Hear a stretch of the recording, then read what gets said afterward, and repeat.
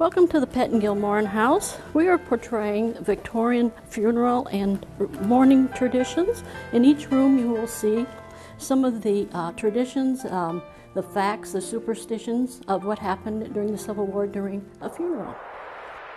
Well, you'll notice that here in the library, the window coverings are in place, and that's to keep uh, the world from intruding in this uh, rather somber time for the family and friends. We've also covered all the mirrors in the house because the belief is that after the death and before the funeral, the first person to see themselves in a mirror, it will be the next person to die.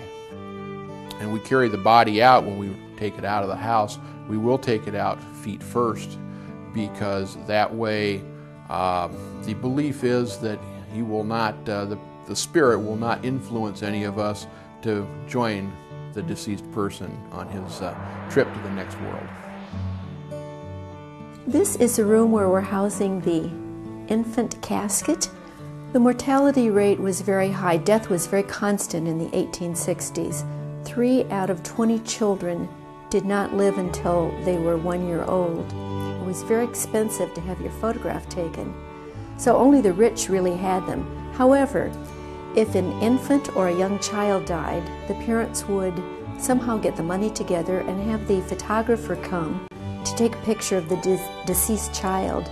This was very, very special, the only remembrance that they really had of the child. Back in the Victorian days, they didn't fear death, they feared not being remembered.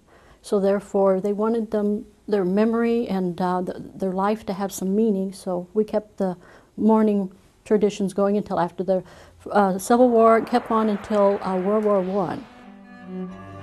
These are examples of Victorian uh, hair jewelry. Uh, mourning jewelry has been around since the 1400s, uh, but the hair jewelry became popular especially in the 1850s and 60s. At the same time, in the United States, the Civil War was taking place. Uh, soldiers in the 1860s would actually leave locks of their hair with their family in the event that they did not return. Uh, you could receive instructions on how to do this yourself, or you could have it professionally done. The wreaths were especially popular. Victorian ladies liked to decorate their homes, and uh, they would they would make the wreaths. It was not unusual to have uh, several gen different generations represented within the wreaths. I think it's very sentimental. Um, I personally I personally like it very much.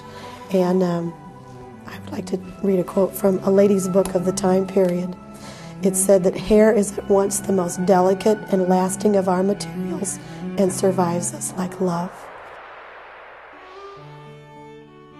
During the Victorian period, the custom was for the widow to wear full mourning attire for a period of at least two and a half years after the deceased had passed away, and that would include a fingertip length veil over the lady's face when she went out in public, no jewelry, and all black garments. After a minimum period of two and a half years, she might go into half mourning, which would still include a black dress, but her veil may be shortened to shoulder length, and she could begin wearing some jewelry, although nothing shiny or with colored stones.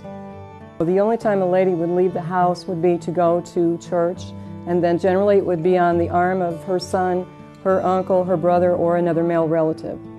She generally would not speak to other men, and no one would speak to her while she had her veil down unless she spoke to them first. It was considered a sign of respect.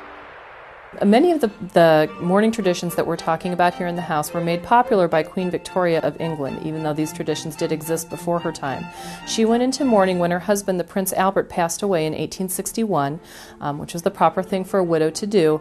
But the difference was that Queen Victoria remained in mourning for 40 years until she herself passed away. She only wore black um, in public and probably also in private. She stopped wearing her crowns because they had the sparkly jewels, so that wasn't appropriate. She only wore veils. We put this on uh, the Historical Society. We have friends of the GAR that's involved. We have uh, Civil War reenactors. Uh, it's a, a combined um, event, and uh, we all came together, and I think that uh, we'll do this every year around Halloween.